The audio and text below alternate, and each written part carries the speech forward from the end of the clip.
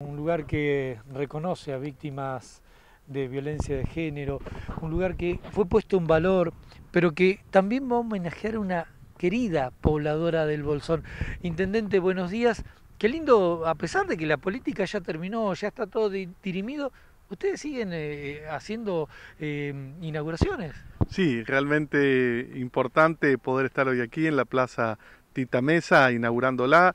Nosotros hemos planteado hasta el 8 de diciembre, que es la asunción del tercer mandato, avanzar con unas inauguraciones que nos habían quedado pendientes y por lo tanto poder también encontrarnos con los vecinos. Acá estuvo hasta recién eh, Don Cerda, que fue un poquito el ideólogo y quien nos conmovió cuando lo veíamos con el balde todos los días venir y, regar plantita por plantita y hoy poder contar en este lugar con veredas, con iluminación, con un sistema de riego, con una plaza que es orgullo de todos los vecinos aquí del barrio Terminal, en conjunto con el barrio Costanera, que a pasitos cambia de nombre el barrio, es realmente dignificar, es incluir y para nosotros es importante y un honor poder hacerlo. Bueno, recuerdo cuando en este ámbito había piedra, alguna plantita, venía el vecino con el balde, le ponía mucho, mucho amor y hoy verla de esta manera es eh, un poco cumplir con esto de que eh, la Intendencia del Bolsón no solo plazas en el centro, ¿no? No, totalmente. Si bien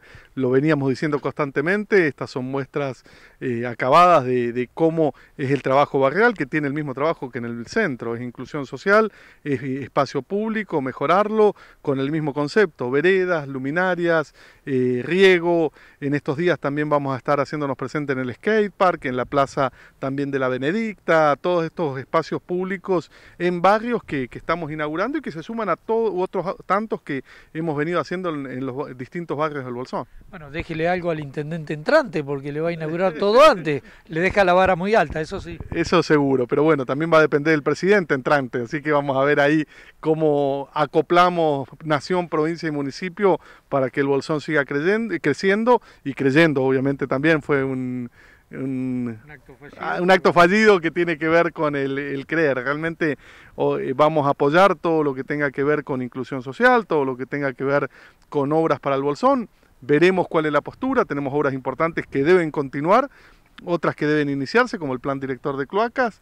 Tenemos Loma del Medio, que ya eh, está el contrato firmado. Esperemos que todo esto se cumpla y se pueda avanzar. Por sobre todo por la gente, por la necesidad, por la calidad de vida de los vecinos del Bolsón. Y acá en lo local, con un nuevo presidente del Consejo Deliberante, que cual ya vienen trabajando hace años, eh, ¿van a poder trabajar mancomunadamente? Sin duda, nos conocemos de ocho años de trabajo y cercanía de una puerta de distancia y eso nos da un valor agregado de, de conocer de primera mano cuál es el objetivo de este bolsón que nos planteamos allí en los inicios en el 2015. Recién un poquito en el acto de inauguración de esta plaza le agradecía eh, el camino transitado a él, a Natalia Carabasilis, a Laura Rojas. que Lo va a extrañar, porque aparte el puerta de por medio era Agustín y ahí estaban. Sí, totalmente. nos escuchábamos sin mirarnos ya, ya, ya trabajábamos a, ciegas. Pero bueno, eh, él conoce mejor que nadie eh, cuál es nuestra idea, porque es en conjunto, no es mía de Bolsón, para dónde queremos ir, cómo queremos crecer y es para mí, insisto, una tranquilidad poder tenerlo en el Consejo Deliberante y también repatriar a Fabián Rudol, Adriana del Agua, que van a ser parte de mi gabinete municipal. Bueno, eso, porque Alberto ya está tirando, se, se, lleva gente de Bolsón, Alberto, ¿eh? se lleva la ministra de Educación, la secretaria de Salud, eh, bueno, ¿a quién nos devuelven? ¿Puede anticipar algo del Consejo, del, del gabinete?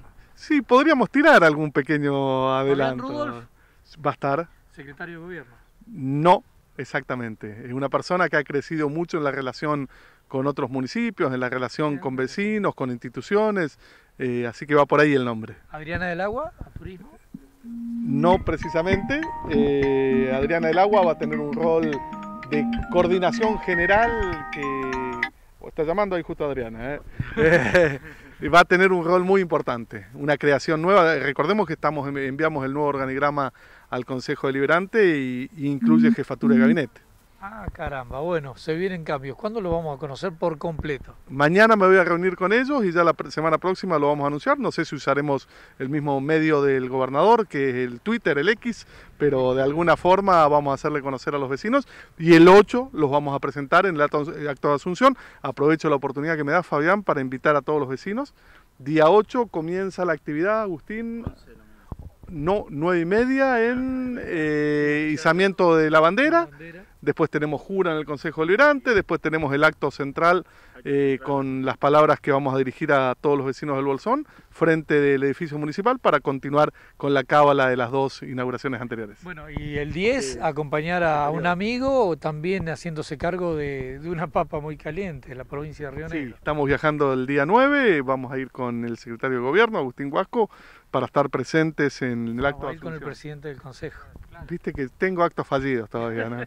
Eh, el ayer y el hoy todavía se me están mezclando, eh, pero en definitiva vamos a ir juntos, que es lo importante.